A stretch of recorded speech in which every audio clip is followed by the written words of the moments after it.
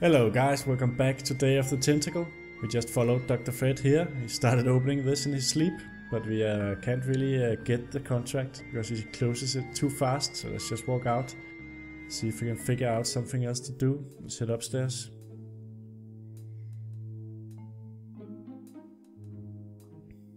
So here's an ice machine. Let's open that up. It's pretty darn cold. Let's press shift and see if there's anything else here. We can interact with the candy machine. We do have a dime. Except for those beef squigglies, I got everything I want out of there. Mmm, that buzzing fluorescent light makes the beef jerky look especially attractive. Let's check all these doors. Sleeping conventioner. Uh, he must be attending the funny convention downstairs. There's a television here. This beautiful 4,000 carat diamond can be yours today for the special rock bottom introductory price of $2 million. The number to call is 1 800 Star Wars. Don't miss this amazing once in a lifetime opportunity. So I guess we know how to get the diamond now. Fickle Fingers coin slot. There's also a surveillance camera here. And a sweater under him. Let's take a look at the surveillance camera. Hi there. Flashing his best nerdy smile. What about this one? Can we use that?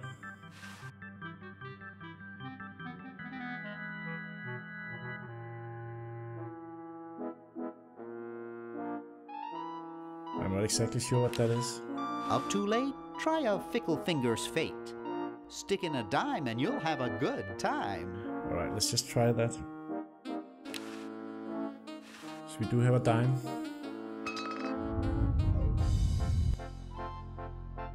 So it moved him closer to the edge, but not over it, so maybe we need one more coin. We know there's another coin stuck in the floor downstairs.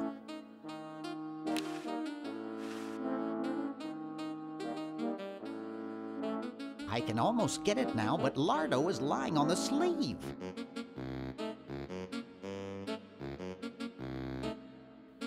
See if we can uh, do anything with the phone. Couch Potato Shopping Channel, Wanda speaking. Uh, I want to buy a diamond. That will be $2 million. Do you have a major credit card? Um, I have a numbered Swiss bank account. What's the number, sir? Um, it's 846 427 35327. I'm sorry, the Credotron shows that account to be empty. So yes, we need to sign that contract that Dr. Fred is looking at downstairs and send it back in time. Let's head through the door here. See what's in there. You never really know what's behind these doors. It's useless. No one will ever be interested in my design, so I'm ending my novelty inventing career right here in this tacky motel. How appropriate.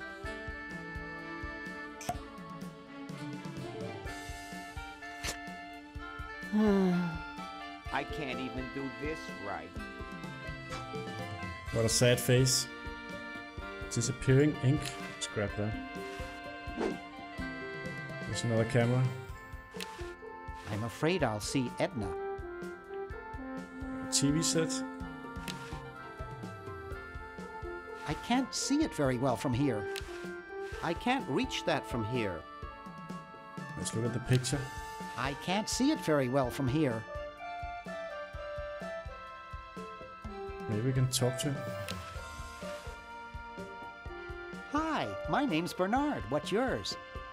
Dwayne, isn't that depressing? Gee, you look depressed. What clued you in, Brainiac? The stooped shoulders and long face? I'm having a crisis here, a warehouse of anguish. I'm a novelty goods designer by trade. I've come up with some fabulous ideas. The exploding lollipop, itching powder gum, and reverse 3D glasses, to name a few. The problem is, no one likes my designs. I send them all over the world and no one responds. I just wish someone would say they liked one just once. Oh, woe is me. I like your design ideas. Well, I didn't mean you. Maybe I can help cheer you up. Oh, I can hardly wait.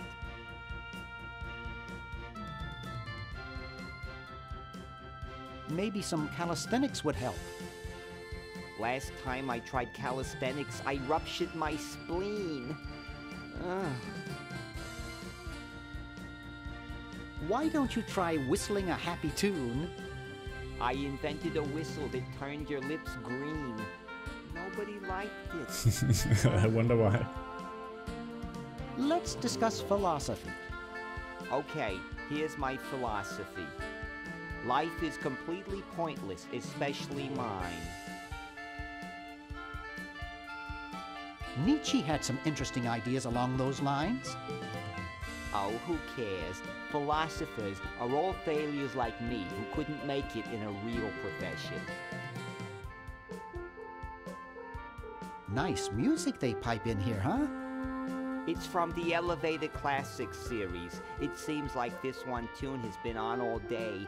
I've never been so depressed in my life. Uh, never mind. Alright, we've had enough of that. Let's get out of there. Let's open up here. Let's check this door. Green! Bernard! What are you doing up here? Well, I couldn't stop Purple, and he's gonna go out and conquer the world, and, and I'm afraid of what he'll do if he catches me, if Dr. Fred doesn't find me first. Uh, does that answer your question? Yeah. Hey! What's up, Bernard? What do you suppose Purple's up to now? Well, he wants to take over the world, so I figure he's up to something devious. Conducting cryogenic experiments on small animals? I wouldn't doubt it, but I was thinking more along the lines of politics. Want to help me save the world? I'm afraid to leave the room. In fact, I don't think I can even move from this spot. Purple scares the daylights out of me. How's your new band doing? Green tea and the sushi platter? We're doing great. We've decided to really capitalize on our strongest quality as a band. Provocative lyrical content? Volume, man, volume. We have a chance to win a Grimy Award as the loudest new band. We're pulling out all the stops. Weren't you looking for a new guitarist a while back? Yes, but we decided to go with a guy who plays power tools instead. We can generate a lot more sound that way. Are you working on an album? Yeah, we're doing a CD called Rap on the Forehead. I've got a few tracks hooked up through the stereo if you want to hear them. Have you gotten any airplay? No, we're a little too experimental for most radio stations, but we have a huge following in the club scene. That's great. Yeah. Why the litter box? Have you got a cat? Don't ask. How does a tentacle sit in a beanbag chair? Oh, that part's easy. Getting back out of it is hard. Can you actually use that bowling ball? No, Purple brought that in here after he grew arms. He got really discouraged, though, because he doesn't have fingers. Well, see you later, Green. Yeah! Good luck in saving the world, B-Man. There's a mouse hole here. There's also one in the room with the suicidal man. It's pretty small. Let's uh, see what we can interact with. The speakers. Bowling ball. Maybe we can grab the bowling ball. It looks too heavy for me to pick up. Let's look at the world domination plans that uh, Purple put up here. Uh oh, This looks like it might work. I don't need to take over the world. Alright, let's turn on the stereo. Wow, this is loud.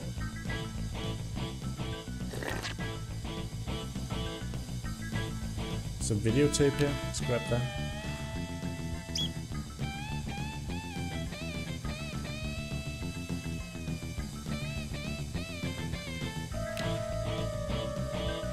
We can interact with the speakers.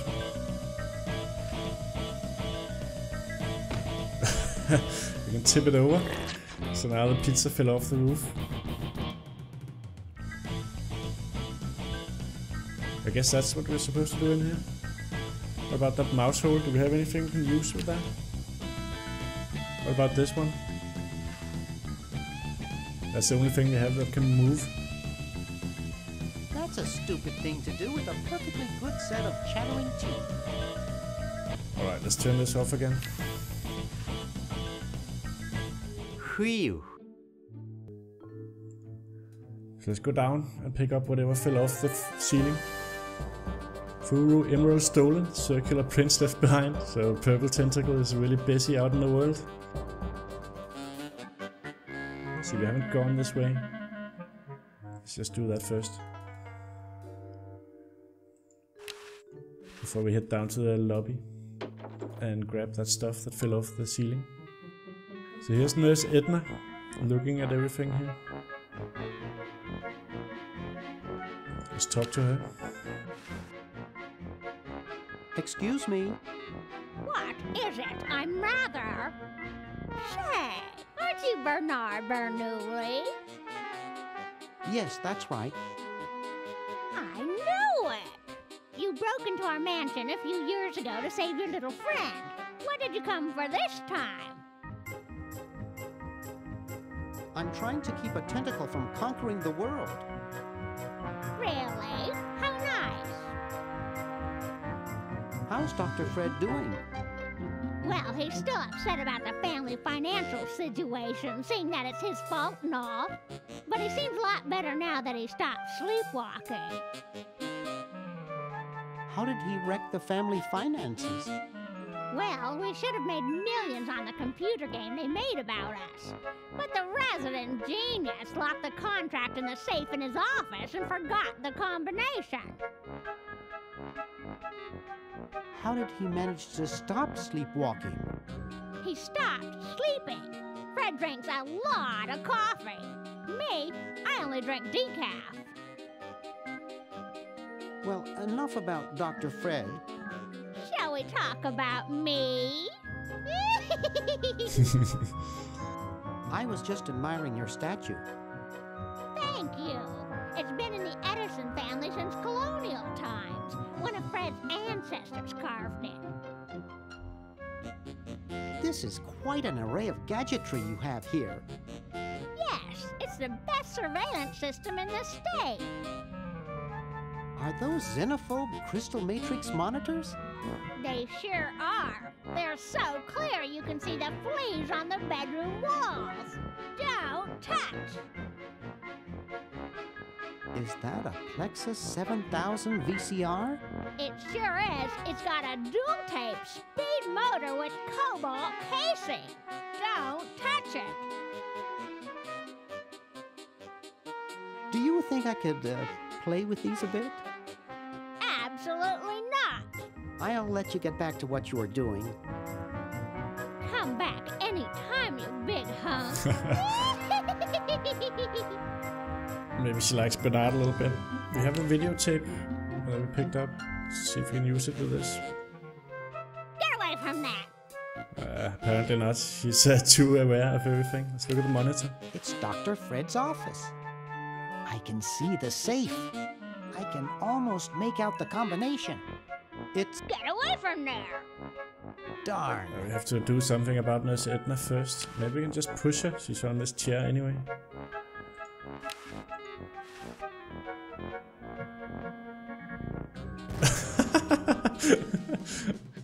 Well, you know what they say.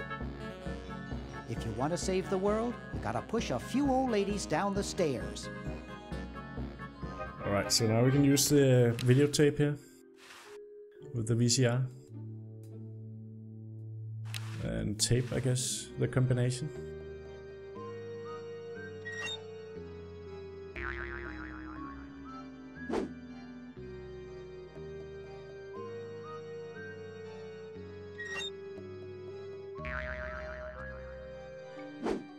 Dr. Fred Edison, Internal Revenue. Come with us. We'd like to go over some of your records with you. Upstairs. The tape's at the end. Alright, let's rewind this. Is this the speed? And then play.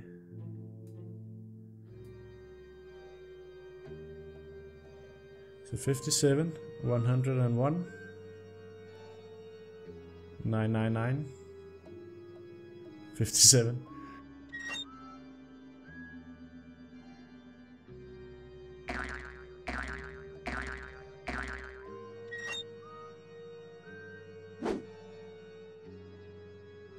Dr. Fred Edison, Internal Revenue. Come with us. So now we have the uh, combination here.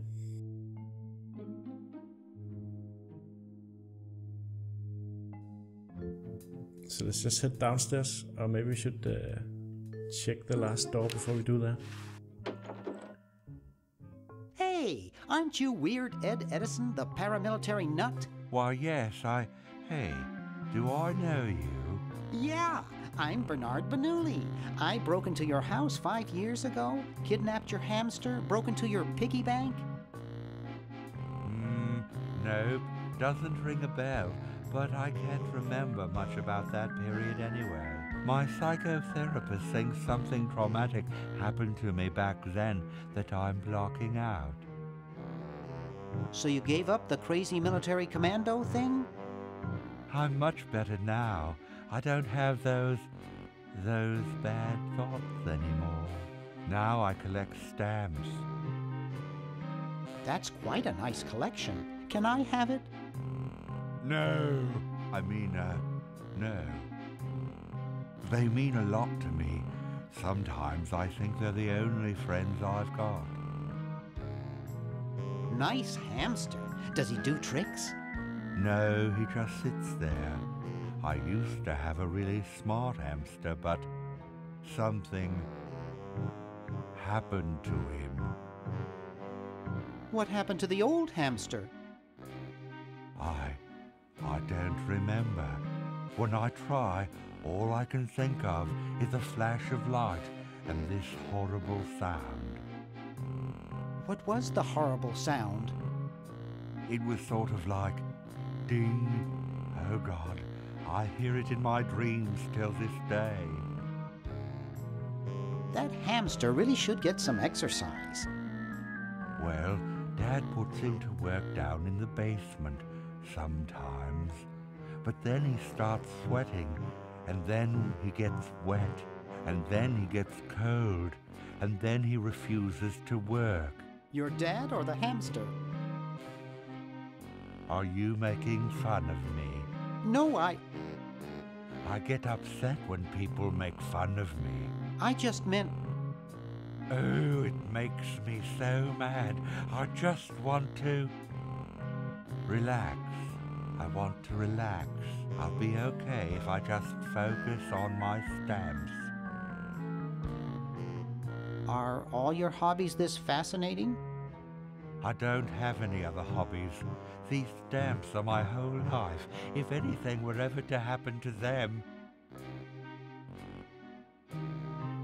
How are the folks? Well, Dad's in the basement doing an experiment. Mom's in the next room spying on a honeymoon. Ted's in the front yard. Holding up a bowl of lard? Well, it's a bird bath, actually, but it rhymes better your way. Well, hope I didn't get you too excited. Bye. Peace be with you. So we need the hamster for the generator downstairs. Maybe we can pick it up.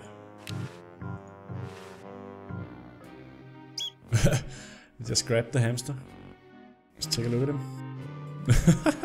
there he is. Cute little fella. Yeah, he didn't look too comfortable. Um, let's look at this computer. Ah yeah, you can play a Maniac Mansion here. Jeepers!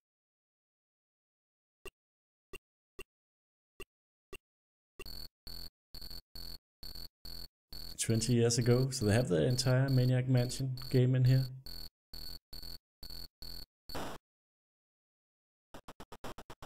That was also in the original Day of the Tentacle. But we don't want to do that right now. so let's just exit. That's nice that you can do that. Maybe I'll do that after I finish this game. Look at his stamp album. Hey, don't touch my stamps. I better not touch them. Just look at them then. Pony Express stamps. Yes, not the most valuable kind, but they have a lot of sentimental value to me. Alright guys, we'll leave off here and we'll continue in the next episode. Thank you for watching and I'll catch you all next time.